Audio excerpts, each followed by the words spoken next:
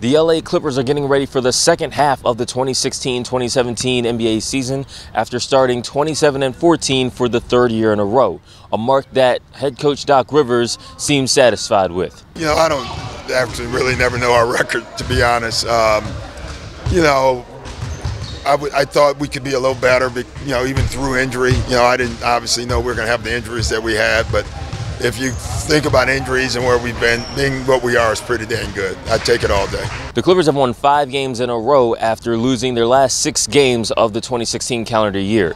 If you ask JJ Redick why the team is winning now, the reasons are very simple. We have three things. Number one, we're playing harder.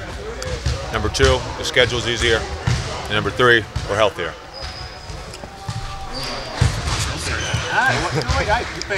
All three are pretty self-explanatory. I don't think I need to delve into too much detail, but knowing that big fella Blake out, everybody touch the court, come out there and give, give it all.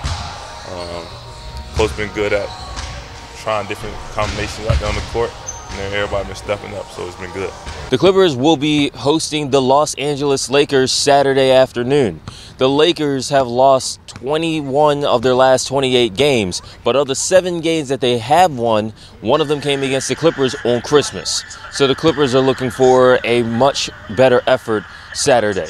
I don't know. I, I think we, we got outplayed in the second half. I mean, I don't know if that was the schedule or we just, I think we just got our asses kicked that's when we was going through a little losing. So uh, they had the momentum. Not now. They one us had that momentum because they was losing too. So you know, I really don't really remember. I just knew that we, had a couple people out. But we was getting used to playing without those guys. But now we back, got our rhythm going. Uh, hopefully we have a better game tomorrow. Clippers first round rookie Brice Johnson was at Clippers practice getting some shots up, but he is not yet playing according to Doc Rivers. His return is not yet on the horizon. Bryce has missed his entire rookie season after suffering a back injury in the preseason. At Playa Vista, I'm Law Murray for Clipper Blog.